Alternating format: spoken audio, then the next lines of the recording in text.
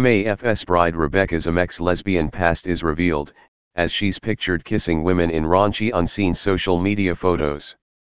Married at first sight bride Beck Zamek may have exchanged vows with a hunky groom during Monday night's premiere. But the 27-year-old is apparently no stranger to receiving affection from women, if her social media posts are anything to go by.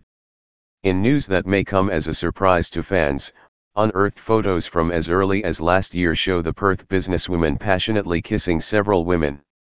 In May last year, the brunette sent pulses racing when she uploaded a raunchy photo of herself French kissing another woman. The romantic image showed Beck gently grasping the side of her female companion's head as they enjoyed what seemed to be a lingering, open-mouthed kiss. Try revoke my rights, Beck captioned the image, adding a peace sign emoji. Elsewhere on Facebook, a photo taken in February 2016 shows Beck kissing another brunette woman as they posed on a kitchen bench in bikinis. In the image, Beck passionately wrapped one arm around the other woman's neck, while placing her other hand on her ankle.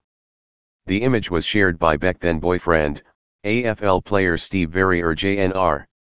In May 2017, Beck uploaded another photo of herself and a female friend playing up to the camera by blowing kisses to each other. The gal pals were attending a 30th birthday party when the photo was taken there is no suggestion the women were romantically involved, or doing anything other than posing for the photo.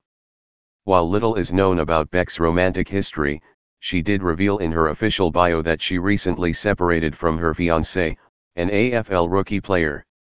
The couple had been in a decade-long relationship before finally calling it off, with Beck claiming their infidelity on both sides.